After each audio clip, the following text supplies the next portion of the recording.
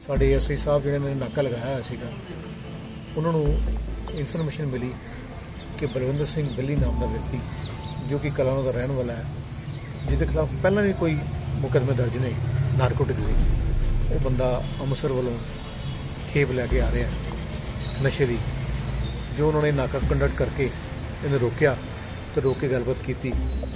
ਜੋ ਗੱਲਬਾਤ ਕਰਨ ਦੇ ਦੌਰਾਨ ਉਹਨਾਂ ਨੂੰ ਵਾਕਈ ਸ਼ੱਕ ਜ਼ਾਹਰ ਹੋਇਆ ਕਿ ਇਸ ਬੰਦੇ ਕੋਲ ਨਸ਼ਾ ਹੈ, ਜਿਸ ਤੇ ਮੈਨੂੰ ਉਹਨਾਂ ਨੇ ਇਨਫੋਰਮ ਕੀਤਾ ਕਿ ਮੈਂ ਆ ਕੇ ਮੌਕੇ ਤੇ ਉਹਨਾਂ ਨਾਲ ਗੱਲਬਾਤ ਕੀਤੀ ਤੇ ਵਾਕਈ ਬਲਵਿੰਦਰ ਸਿੰਘ ਬਿੱਲੀ ਪਾਸੋਂ 150 ਗ੍ਰਾਮ ਹੈਰੋਇਨ ਬਰਾਮਦ ਹੋਈ।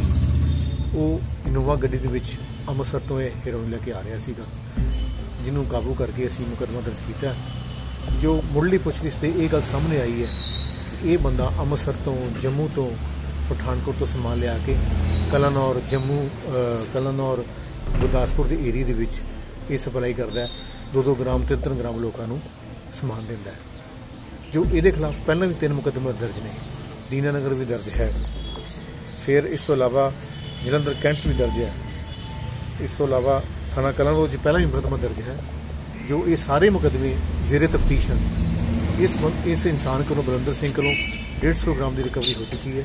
ਤੇ ਫਰਦਰ ਅਸੀਂ ਇਨਵੈਸਟੀਗੇਸ਼ਨ ਕਰ ਰਹੇ ਹਾਂ।